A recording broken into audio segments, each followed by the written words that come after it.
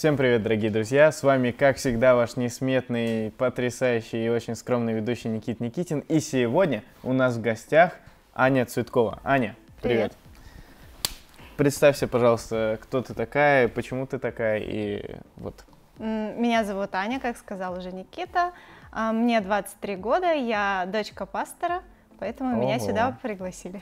А, расскажи, прежде всего, ну, я не так хорошо знаю твою семью пока что. А, расскажи про твою семью немножко. Ам, В моей семье... Моя семья большая, у нас пятеро, у меня четыре брата младших, я старшая, и Вау. затем идут четыре брата, да.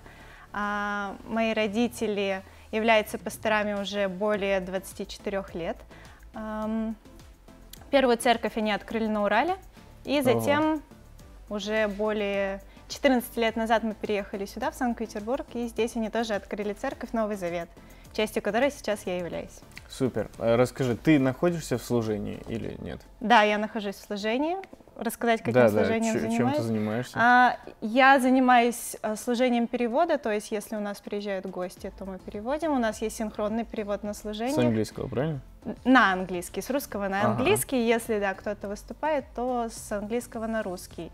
Также я занимаюсь в молодежном служении, помогаю лидеру всем, чем могу. И у нас Супер. есть театральное служение, там тоже я выступаю. Вау, прям серьезно ты в служение углубилась. А, расскажи, пожалуйста, ну вообще каково это прежде всего в твое детство уйдем? Как, как, каково это было расти в семье верующих родителей, да еще и когда они пастора?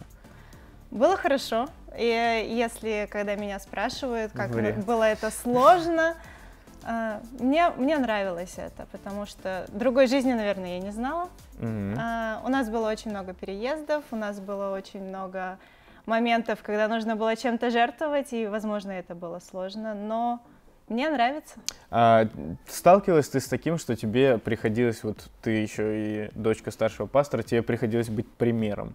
Конечно. И, И как ты к пор. этому относишься? А, Это большая ответственность, иногда тяжело, потому что, ну, может быть, хотелось бы где-нибудь, ну, как Шальнуть? сказать, нет, такого слова, такое слово мне не нравится, но, может быть, где-то полениться, что-то не сделать, но ты понимаешь, что на тебя смотрят другие, Э, и не только просто девочки, например, а дочери других пасторов на тебя тоже смотрят, потому что ты дочь старшего пастора. Ну, поэтому есть, конечно, такая, такое бремя, которое нужно нести, но я тоже думаю, это привилегия, потому что это держит меня. Это здорово, это тебя стимулирует, да? Да. А, расскажи, э, вот чуть-чуть в детство, ну или в юношество, или не знаю, как правильно сказать, про школу. Ага. А, твои отношения в школе, ты, наверное, там, там ты в первый раз столкнулась с неверующими людьми или как? Неверующие дети были в детском саду, Ну, в да. принципе. Там я столкнулась впервые, когда ну, рассказывала о Боге и рассказывала, как молиться. Ну, там, конечно, это было проще. В школе было время, наверное, класс 6-7, когда я стала сектанткой. М. Но вообще у меня отношения всегда были хорошие со всеми. Ну, то есть вот тебя не гнобили там, да, или как? Ну, Как было это? пару парней, которые пытались, конечно, и это меня очень сильно задевало до слез. Но, слава богу, за родителей они как-то поддерживали всегда. Было тебе стыдно в то время, что ты христианка? Да, было. Ну, класс шестой, седьмой, восьмой, наверное, даже до девятого я особо не распространялась о том, что... Ну, как бы люди и так знали, что я хожу в церковь, они меня называли святошей, но я об этом молчала. Был ли момент, когда ты решила, что тебе нужно уйти? Ну, или какой-то... Когда ты ушла из церкви? А такого момента не было. Ну, а когда твои внутренние все говорило, нет, не хочу там... Э, Нет, не хочу, никогда не было. Церковь всегда была частью моей жизни. И, наверное, благодаря тому, что уже с 14 лет я стала э, участвовать в служении, это меня удержало от каких-то таких шальных мыслей.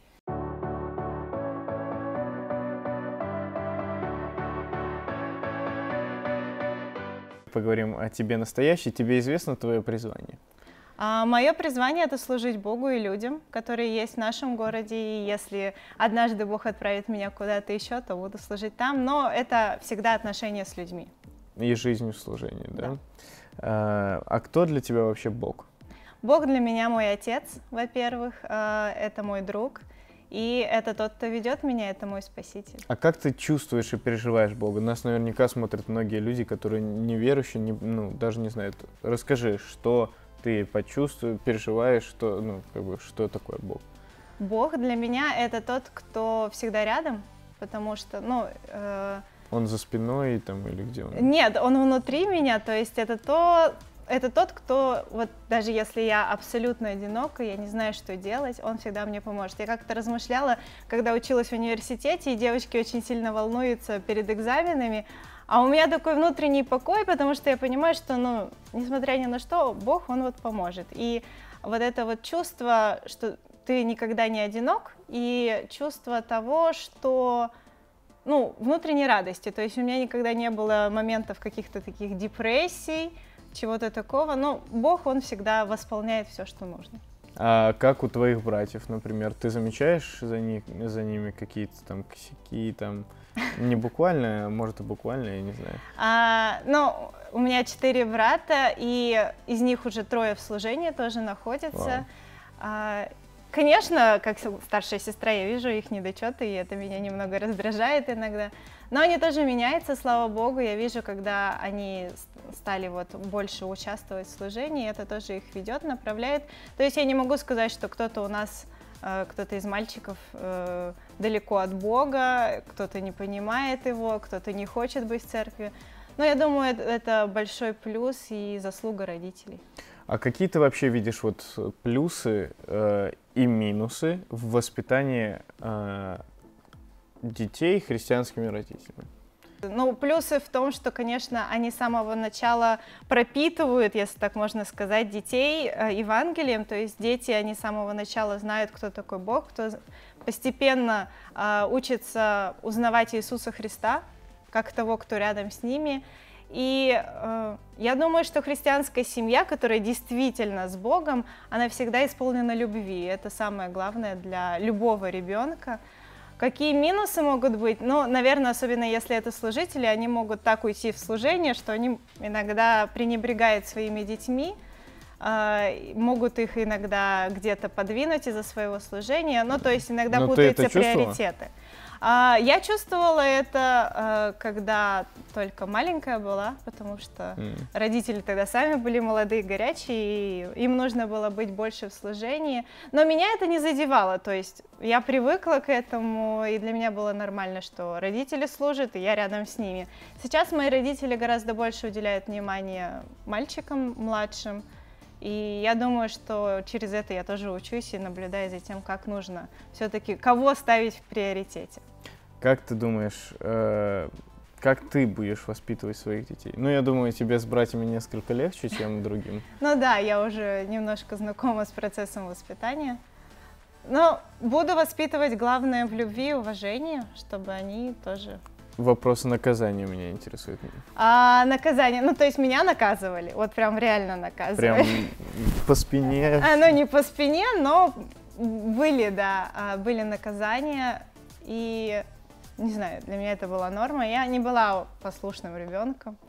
А сейчас, например, модель воспитания в моей семье изменилась, то есть таких наказаний телесных нет. И я тоже это анализировала и понимаю, что, ну, наверное, подход к каждому ребенку. И, ну, никогда не было такого, что тебя наказали и все. Ну, то есть всегда были объяснения, mm. почему это происходит. Ну, это правильно, да? Я считаю, что это правильно, да. А, расскажи, как ты узнавала Библию?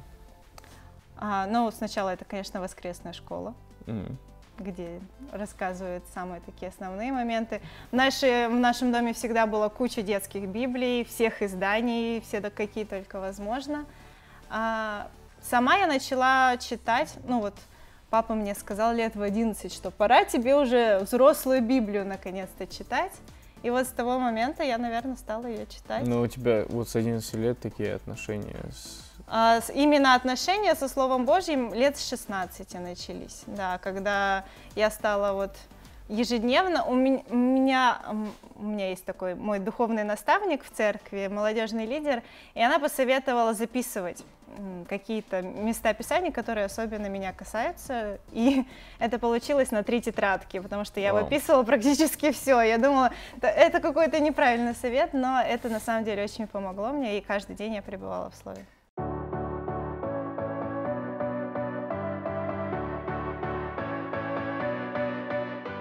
Итак, дорогие друзья, рубрика «Знание Библии» с Аней. Кто был проглочен большой рыбой? Ной, Иаков, Даниил или Иона? Иона. И это правильный ответ. Какая книга является девятой в Ветхом Завете? Книга Судей Израилевых, Первая Самуила, Вторая Самуила или Михей? Что-то из Самуила, скорее всего. Первое? Вау. Жесть, я такого даже не знал. А, что намеревался сделать Валаам, когда с ним заговорил осел? Проклинать евреев, предложить свои услуги проводника странствующим израильтянам, принести еду странствующим израильтянам или благословить евреев? А, еще раз, он что хотел сделать? Да. Но он хотел проклясть вообще. Так, слишком много она знает. Угу, сейчас посмотрим.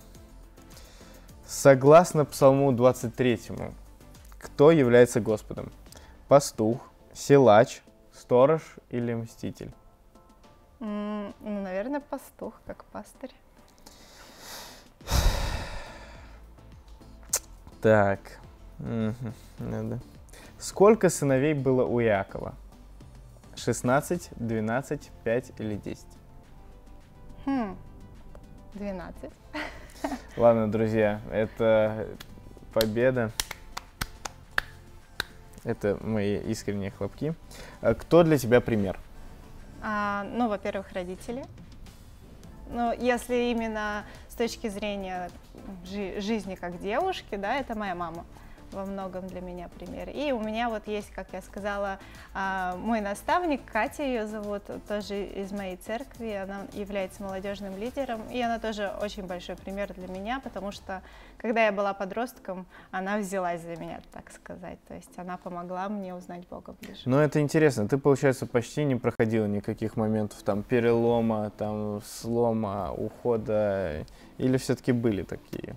Не было переломов каких-то. Ну, то есть в какой-то момент я хотела Богу узнать, что вот Он реально мой Бог, а не просто... Я всегда знала, что Он есть, то есть потому что мое детство, оно было наполнено разными чудесами, ответами на молитвы, то есть я не могла не знать, что Бога нет. И, наверное, вот я просто хотела стать его частью, то есть быть вместе с ним. А так, чтобы все это меня все достало, и мне это все не нравится, такого, слава богу, не было. Дралась ли ты с мальчиками? Да. Много? Ну, во-первых, у меня есть братья, поэтому, когда мы были маленькими, мой, мой брат, который следующий после меня, мы ну, очень много дрались. А, и как-то в школе я мальчику сломала. А, самый твой запоминающийся нехристианский поступок? А в каком смысле не христианский? Ну, значит, нет, неправильно. Неправильный? А, чтобы вспомнить. Ну, например, когда я поделала пятерку в дневнике. Уходим. Не, жестко, жестко. Ладно.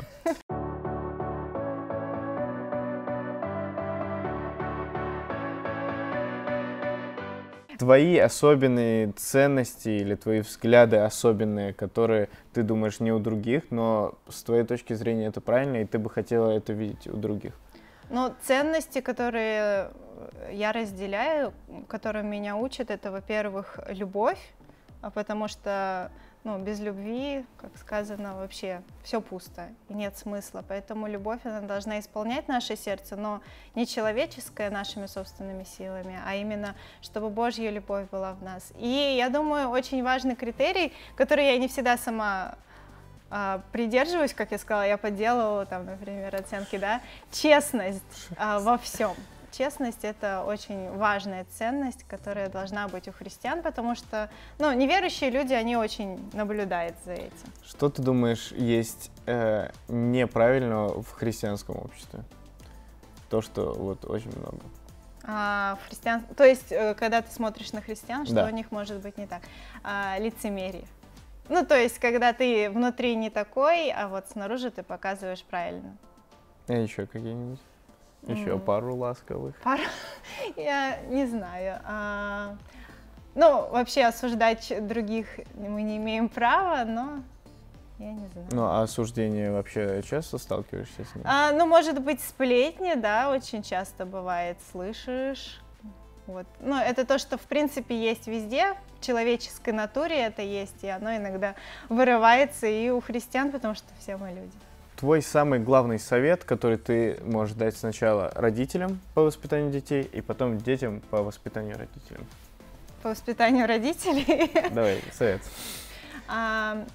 Родителям, наверное, советовать больше любить своих детей. Но я не знаю, можно вообще советовать что-то родителям, потому что мы дети. Да. А, но... Ну, какие, например, может быть, какие-то были непонимания, или ты бы советовал, чтобы получше, например? Ну, я думаю, больше уделять внимание своим детям, не забывать о них, э, хотя мы такие очень занятые, и у нас много работы, много сложений, всегда стараться прислушиваться к своим детям а, и просто уважать их, наверное. Как сказано в Библии, не раздражайте своих детей, иногда родители становятся, ну, на какую-то такую точку зрения, что вот только я прав, но дети тоже иногда бывают правы.